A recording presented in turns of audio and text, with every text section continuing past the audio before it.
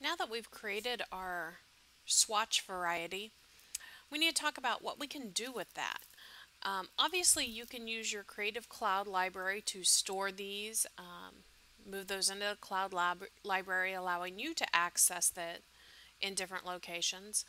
However, there might be occasions when you need to share some colors you've created um, with different people across different programs, and that's where exporting your swatches come in, comes in.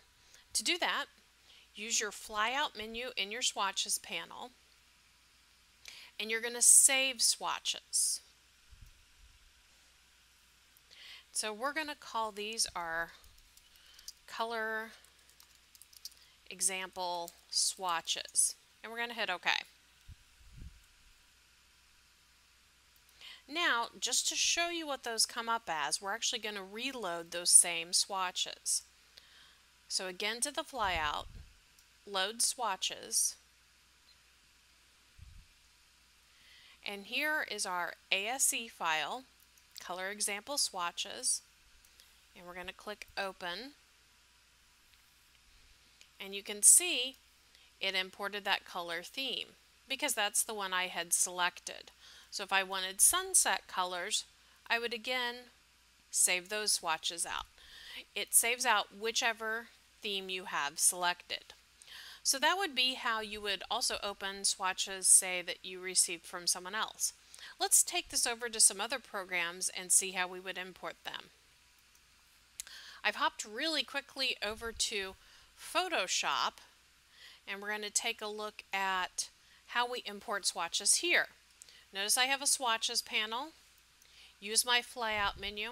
I'm going to switch these to a small thumbnail um, so you can see that. And I'm now going to go to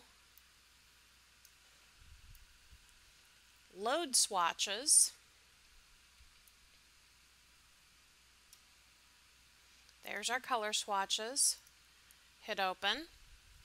And these are the last swatches that came in. If I wanted to do my list, it would be these at the bottom that they've came in as.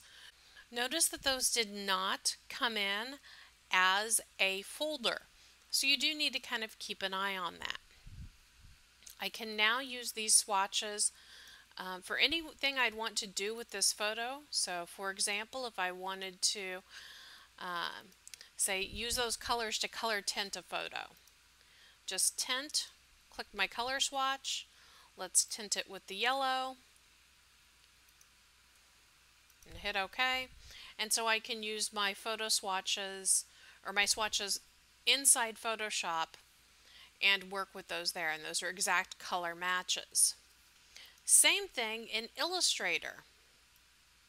So say I was working on a logo that related to this project and I wanted to bring in swatches for those.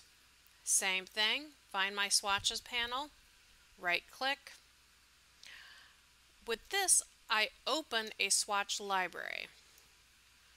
So, open a swatch library. We're going to go to Other Library. Find our folder that we've been working in. There's our color swatches. Hit Open. And it comes up as its own panel. So then I can simply use that to select my shape, change my fill, select my type, change it, and use those exact same colors across the Adobe suites. I could also use that ASE file that we've been opening and email it to someone else. Conversely, if I was working with a client and they wanted to save out some colors, I could have them save those colors directly to me and import those right in. So that is how you export and import swatches across the Adobe suite.